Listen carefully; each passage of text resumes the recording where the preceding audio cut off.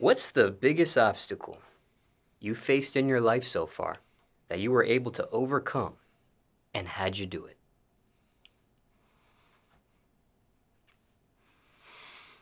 I mean, that would be The biggest, the biggest obstacle.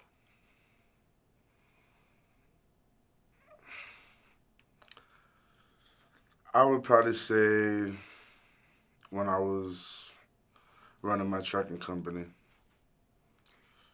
And what do you mean by that? I mean, just the whole process. I mean, just the whole process of starting a company is is not as easy as everybody thinks. And then, not only that, during that situation, during me working and actually when I had it a flow of making good money, I ended up having a stroke, which they said I had like twenty percent chance to make it it was just a lot going on. My my sister flew back in from Cali. It was just, I woke up and I had all my childhood friends, family I hadn't seen in years, and I I didn't even think it was a stroke. I actually thought it was Percocets that I took for pain that I had from my leg. And I thought it was because you know when you're driving, you're trying to get that money, so you you saying I wouldn't I would have stopped. They say you're supposed to stop and walk and do all that, but I'm trying to get it. So, I, I mean, that that could have been it. That's what I thought the pain was. So I really just I went to to the urgent care. They gave me Percocets and steroids. At first, I thought it helped, but three days later, uh, I don't know, can't even remember if it was three or five, but a couple days later, I was actually on the way to pick up my girl. I was on the way to pick up my girl, and I went to the Shell gas station to put gas. And the people at the gas station didn't want me to drive away. And I'm like, man, y'all tripping. I'm, I'm just thinking I'm off the off the perks. I'm, I'm like, man, I'm just, I'm good though. You feel me? And they're like, man, listen, they, they don't want, they don't, they didn't want to let me drive. So I just, I guess I passed out and I woke up. I had the ambulance in front of me. I had like firefighters there. There was a bunch of people in front of me. I didn't even really know what was going on. I was trying to give them information again. Apparently, I passed out again, and I woke up. And that's when they were telling me I had a stroke, and I'm just like, nah, nah, you know. And I was just, I thought I OD'd or something. And they're like, nah, you had a stroke. And I was like, man, I'm too young for that. You feel me? But you know, it could have been, you know, the living, the the drugs, the trucking. Could have been a combination of everything. I just don't know. The doctors didn't even really know. And then, couldn't find out it was I had a hole in my heart that apparently we all born with, but it's supposed to close. Mine never closed. And what makes the story even more crazy through this whole time, three days before my stroke, my brother went into the hospital and he was getting. I thought it, we thought it was the trucking incident too because his leg was swollen and all type of things was going on, and then they had to amputate it, and it was just. So we just thought a whole bunch of things. We thought we had like woo going on in our family, so it was just crazy because we were the two youngest. So it just it was just a crazy time for me. And, And, go ahead. and we both came out of our situation and we started a trucking company together and and we we don't drive no more and we just run it. So I feel like that's that was probably the biggest obstacle that I actually overcame. Now, there are several elements of this description you just mentioned. Uh, Want to follow through here with. Okay, can you explain to people watching this interview that's heard the phrase stroke but doesn't exactly know what it means? From my understanding, stroke is when I think like blood goes to your brain. And the reason it was able to do that because I had the hole in my heart. I apparently it wouldn't travel, be able to even travel that far if my hole was closed. and I went 30 years with no insurance. So finally, when they put insurance, finally I just got insurance with the whole Obamacare, and you know that helped me out. And they they closed they closed it, so I, I'm good now. They closed your your hole in your heart. Yeah. And what age was this when the stroke actually took place? I was 30. Actually, it was like a week before my 30th birthday. And when it comes to your health and your health history, could this have been preventable in retrospect? Them finding out this hole never closed at some point in your life, could that have been found or sought at some point before you even hit 30? I mean, possibly if I had insurance, they, they care a lot more. That's a fact. I I seen I seen the difference. I definitely seen the difference. But I mean, it, it's something that they probably would have to check for. But I mean, you know, like listen, I'm a big boy. I like to eat good, so I mean, theoretically, that could have played a factor. The smoking could have played a factor, but really, they said when they checked my levels or anything, I didn't have diabetes. I didn't have high blood pressure. I didn't have nothing. So it was the bit, the main thing they said it was from from the hole in the heart. You also mentioned a leg issue that you had that you were suffering in the midst before all of this took place. I mean, yeah, I mean, well, when I was younger, I had a motorcycle accident where you know I had metal pins in my leg. I got hit by a car. A car ran a stop sign, and you know, I had to get airlifted. I was in a wheelchair. I mean, they told me I was gonna might not walk for about a year, but I was determined to walk. I walked in like four months. I was walking with the cane. I had the metal pins looking crazy. I was pulling up places. I didn't really care, and um. So yeah, I mean, I, I thought it was because of that, because they told me sometimes after after ten years you got to get your pins changed or something like that. So I was thinking it was that, but I I really don't even know what it was. What age did the uh, motorcycle incident take place in your life? I was eighteen. When it comes to the leg, has that fully healed? Yeah. When it comes to the metal pins, now that you have insurance, is that something you ever looked into if you need to have that changed out or need an update on that whole situation or scenario there? I mean, honestly, I haven't checked because when I got my insurance, I was just focused on the whole stroke situation. But I mean, I should check on that. Now, you got insurance after you had the stroke, after the hole in the heart was fixed, or Yeah. before? No, I got insurance after the stroke. Okay. And after the hole in the heart was fixed as well? Yeah. Okay. Because you got insurance after those incidents, did you have to come out of pocket and pay in full for those incidents? I mean, I'm I'm pretty sure my hospital bills is up the roof, but I mean, I ain't paying a dollar, but you know, I'm pretty sure it's stacked up somewhere. They they gonna come collect, but I'll holler at them. I'll holler at them. They'll, they'll, they'll get theirs. They'll get theirs. I got them.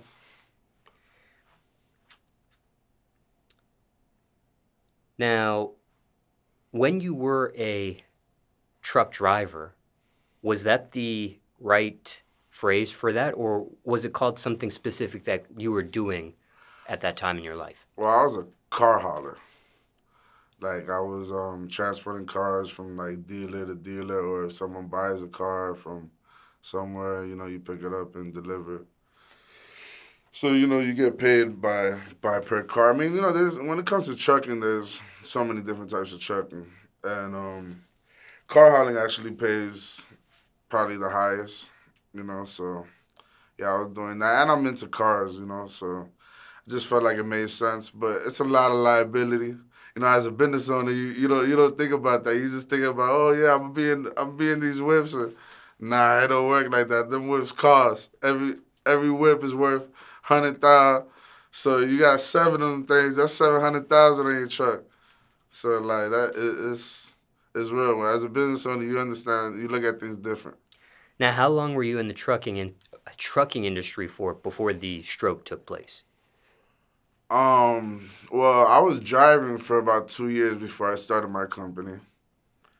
And then um, I think I was rolling about like two years, maybe three. So I would say I was driving trucks about four or five years. Four or five years, two of which was for someone yeah, else. Yeah, other companies. And then three was for you. Yeah. Okay. And uh, when you start a trucking company with your brother, was that part of that five year scenario or was that after? No, that was after. Okay. When it comes to that five years of trucking, aside from car hauling, was there any other type of trucking you were doing? I mean, when I was working, not not my own company. My own company was just cars, but okay. I've worked doing everything for other companies. Are you able to describe what type of trucking you were doing? I've done reefer, which is like refrigerated goods. I've done dry van, which is anything that could go in the back of a truck. I've done flatbed, which is flatbed. Um, that's really most of them. But there's a couple other stuff like, you know, long hauls, but I've never really done those like the when you see them long poles that be extended everywhere. You need like extra permits for that. You need gas. Gas is another one. You need certain permits for that. Never really got into those, but I've done everything else. When it comes to the business with you and your brother, what type of trucking are you two doing at this point? Just regular goods. It just made more sense. Like cars is a lot of liability. I mean, I might get back into it because you know my love of cars, but I mean, it just made more sense to do regular trucking at the moment. How does the money compare when you were driving for someone else for two years, driving for yourself for three years, and then now you and your brother don't drive, but you run a company, a trucking company? I mean, I mean, it depends. I mean, because when you're driving, you're making all the money. You're making driver money and you're making business money. So yeah, you make good money, but like you're not really. You it's you're putting too much time. Like being on the road twenty four seven. I I'm trying to worry about getting another truck, getting another truck. Four or five. Once you got four or five trucks, you're making more money than you was driving.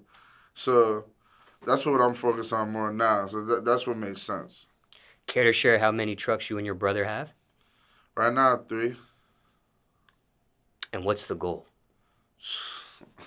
A hundred. 200, 300, 400. Now, there there's a couple things I want to get your opinion on here.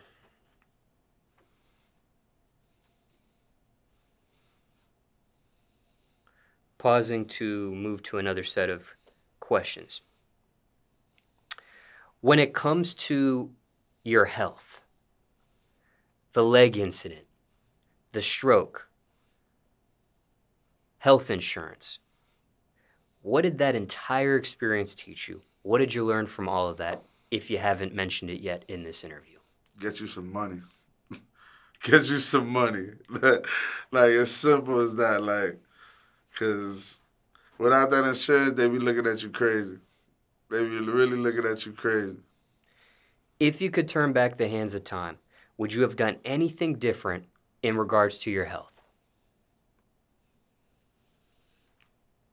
Nah, I mean, yeah, all of my life experiences made me who I am today. Like, I really feel like I'm unstoppable right now. The, to the point, like, I done been through everything. So it's, there's nothing nobody could tell me. Like, I feel, I feel good. I look good.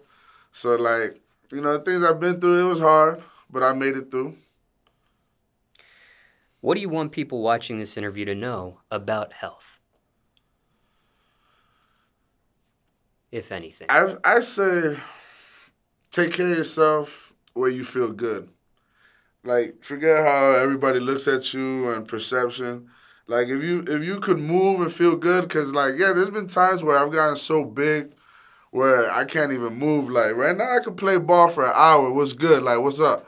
You know what I'm saying? But there's times you know I've been late. But if you feel good with yourself, you know I feel like live life, man. Don't worry about you know how how you look, trying to look like somebody in a magazine. Like I, I'm good with myself. So, and that's what I tell everybody. If you feel good with yourself, if you know you want to lift hundred pounds and you can lift it good, don't worry about the other guy lifting three fifty.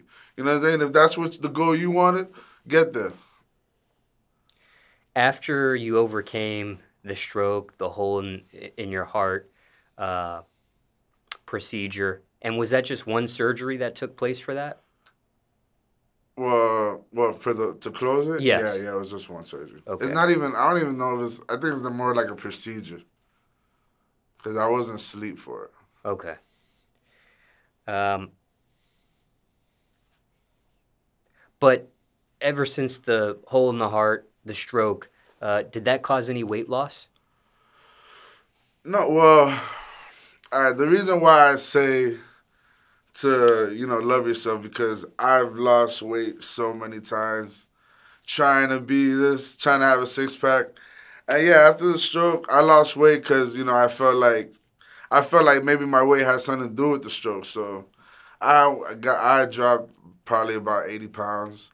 Like I dropped weight. Like anything I put my mind to, I'm gonna do it. Like I can show you pictures right now of me like this.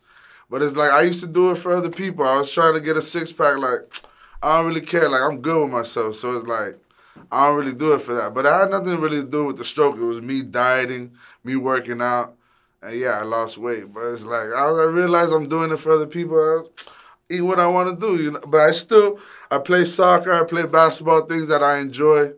You know, I might hit the gym with one of my homeboys one time, but I do it because that's what I want to do, not because I'm trying to look good for somebody. Are you happy with the weight you're at now? I'm great with it. And with that 80 pound loss, have you gained any of it back or I you, gained all of it back. like the, so yeah, I was a lot. I was a lot slimmer, but um, I, I'm I'm I'm good with myself. Like you know, like I said, I've been bigger where I couldn't even move. I didn't want to get out of bed, but right now I could play ball. I could do whatever I need to do. I, I just rocked the stage at Know Me Fest. So it's like and I'm running around the stage like like it's nothing. Now, circumstances could be different for everyone, but generally speaking, let's say somebody's watching this interview and they've just become a victim of a stroke. Anything you would say to them? I mean, everybody's health different, so they got to look at their body, talk to the doctor, see what's going on with them, because you know everybody's situation is different. They might have high high blood pressure, they might have diabetes, so you got to take care of that. I took care of whatever whatever the doctor told me to do. I followed the instructions to the T. So yeah, make sure you make sure you know your body, check your body, and, and get to where you need to be at. Anything else you want to mention about health or question you weren't asked, people want to know about it? About health, Yeah. Other than what you've already said thus far. I mean, most people want to know diet tips, and I definitely could give that. I tell you, eat small portions throughout the day. Every a lot of people just go throughout the day without eating and eat one big meal. That's very bad for you. Just eat small portions throughout the day. Anything else on this subject? No.